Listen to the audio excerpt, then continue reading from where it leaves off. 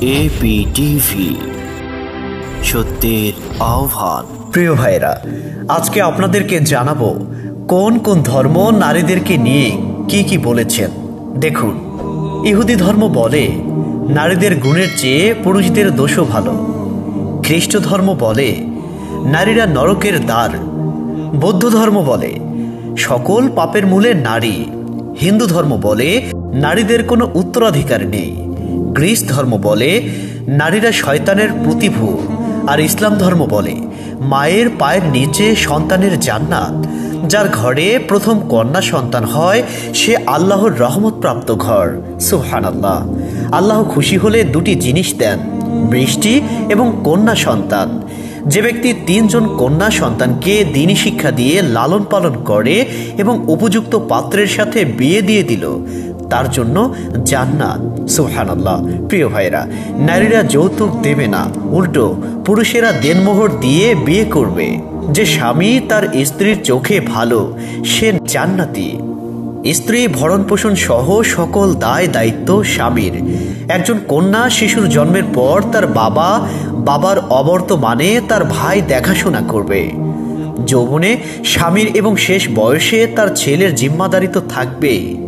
প্রিয় ভাইরা এলেম শিক্ষা করা নারী ও পুরুষ উভয়ের জন্য ফরজ। মায়ের হক বাবার হকের চেয়ে তিন গুণ বেশি।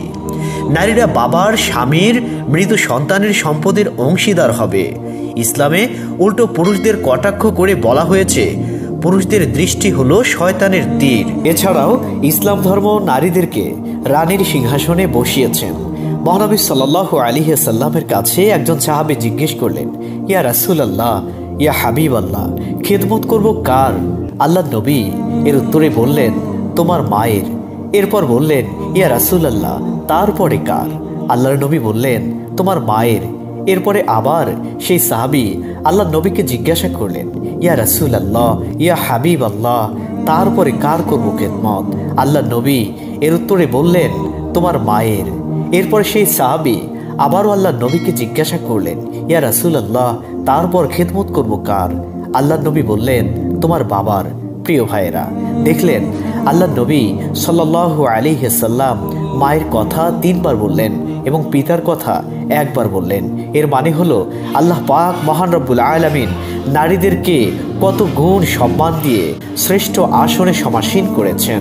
সুহান আল্লাহ প্রিয় ভাইরা শুধু তাই নয়, নারীরা যখন গর্ভধারণ করেন, তখন সন্তান ভূমিষ্ঠ না হওয়া পর্যন্ত তাদের আমল নামায় আল্লাহ রবুল আলমিনের ফেরেশতারা সব লিখতেই থাকেন। সুহান আল্লাহ হামদিহি প্রিয় ভাইরা তাই যদি নারীর সম্মান, নারীর অধিকার আমরা ফিরে আনতে চেষ্টা করি তাহলে আমাদেরকে ফিরে যেতে হবে ইসলামের সুশীতল ছায়াতলে এবং সেগুলি আমাদেরকে মানতে হবে। তাহলেই নারীদের অধিকার, নারীরা সম্মানিত আসনে প্রতিষ্ঠিত হবেন। প্রিয় ভাইরা এরপরও যদি নারীরা বলে, ইসলাম তাদের স্বাধীনতা হরণ করেছে, মর্যাদা দেয়নি, ঠকিয়েছে, তাহলে এটা হবে মূর্খতার পরিচয়।